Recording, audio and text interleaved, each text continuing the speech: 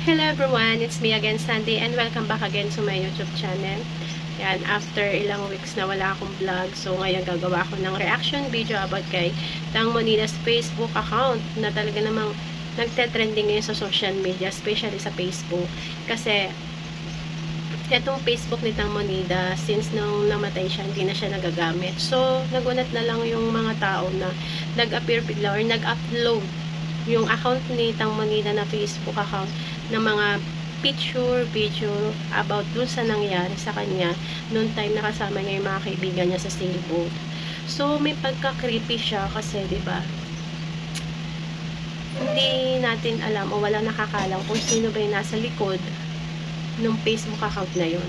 Kung sino ba yung nakakaalam ng password ni Tang Monida or kung sino ba talaga yun. So, medyo nagugulan yung mga tao kasi until naman ngayon, hindi pa rin naman na talaga nakukuha yung justice sa pagkamatay ni Tang Monida. So, hindi natin alam. Maybe yung gumawa nun is naka-witness ng pangyayari. So, or maybe sa kanila din lima, din natin masasabi. Baka may nagigilty, diba? may nakukonsensya. So, unti-unti parang gusto ilabas yung totoong nangyari nung gabing yun. So, medyo nakakalungkot lang kasi after that, sabi nila na-delete daw yun. Yung unang account na yun, yung talagang account face, sa Facebook ni Tang Monida. So, eto yun. Tingnan natin yung Facebook account ni Tang Monida na post bago ito ma-delete sa Facebook. So, eto yung Facebook account ni Tang Monida sa Facebook. So, yan. Deleted na siya ngayon. So, hindi na niya siya makikita sa Facebook account. Happy Melon Pachabarende po. Yan yung kanya yung pangalan sa Facebook account. Scroll up natin. So, yan yung mga post niya sa Facebook account na yan. Yan. Kina niya yung mga post niya. Yan yung yan. Yan yung parang pinainom siya ng sleeping pill. Sabi ng mga tao parang ganun. Nagbibigay nga siya ng hint sa nangyari nung time na yon kasama yung mga uh, kaibigan niya sa sailboat. So, yan. Yun na. Yun yung yun yung talagang Facebook account ni Tang Monida. So, na-delete na yan ni YouTube. Ah, ni Facebook, sorry. Na-delete na yan. Siguro, nag, may madaming nag-report na na patay na nga yung may-ari na yun. Pero ganun pa siguro, ano, na-delete siya. So, after that, lumabas. May panibagong ginawa ito na Facebook page na ang pangalan niya ay Happy Melon Official. So, ito, tingnan natin yung bagong Facebook page ni Tang Manidas. So, sino nga ba talaga yung gumagawa no? Diba? Hindi natin alam. So, sana ilabas na lang yun yung katotohanan, diba? Para at least malaman na agad ng mga tao, malaman na rin ng mga kapulisan kung ano ba talaga yung totoong nangyari kasi kailangan talaga ng justice ni Tang Manidas. So, ito, tingnan natin yung bagong Facebook page ni Tang Manidas. So, ito na yung bagong Facebook page ni Tang Manida. Happy Melon Official yung pangalan. So, tingnan natin kung ano yung mga post niya dito. So, scroll up natin. Scroll up. Happy Melon Official. Then, tingnan natin yung translation. Kasi hindi natin maintindihan. So, 8.35pm. This is the last photo I took that night. To took it at 10.30 15 p.m. for you, my best friend. So, yan yung mga post niya.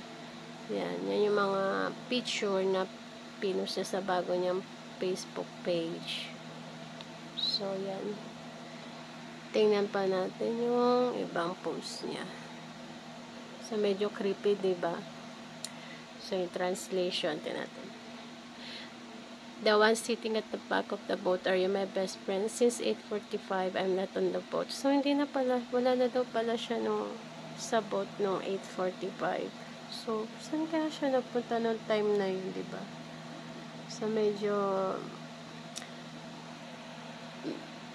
creepy. This brother wants to take me to a hotel. I asked him why he is going. He said he will wait for his friend. So, if you want to know if I'm going, you must follow. So, di ba? Parang alam na alam niya yung mga pangyayari ng time na yun, yung mga naganap. More facts before burning us. Close my Facebook. Don't you think you can close my mouth, my best friend? So, yan na nga kasi, di ba, na-delete nga yung una niyang Facebook. So, yan yung mga posts. So, translation again.